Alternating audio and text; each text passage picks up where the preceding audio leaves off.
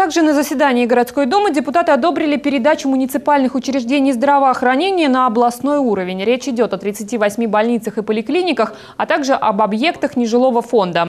Мнения народных избранников по этому вопросу разделились. Часть из них не уверена, что передача учреждений улучшит оказание медицинской помощи. Дальнейшие действия Министерства здравоохранения не ясны. Все ли больницы будут сохранены, будут ли они перепрофилироваться и планируется ли сокращение персонала. Это беспокоит депутатов, и они обещают следить за развитием событий.